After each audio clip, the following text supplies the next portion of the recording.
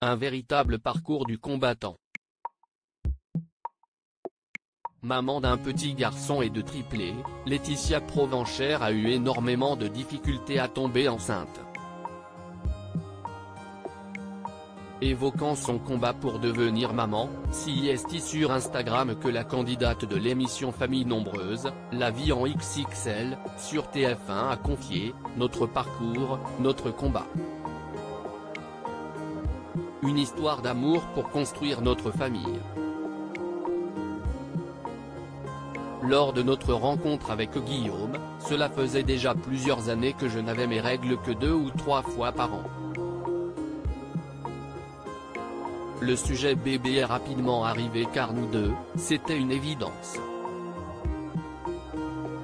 En toute transparence, la jolie brune a ajouté, le verdict est rapidement tombé, je souffre du syndrome des ovaires polykystiques et par chance je n'aille que très peu des effets que peut entraîner ce syndrome. Se remémorant son parcours, Laetitia Provenchère a écrit, après quelques mois d'examen, le protocole se met en place, nous faisons plusieurs essais d'insémination, Guillaume arrive à prendre plus de recul que moi, je vis chaque mois comme un échec. J'ai la chance pendant ces quelques mois de ne faire aucune fausse couche et d'être accompagné à chaque examen d'un futur super papa. À peine un an après le début du protocole, le 10 novembre 2017, l'insémination pour Nolan fonctionne et nous attendons pour la première fois notre enfant.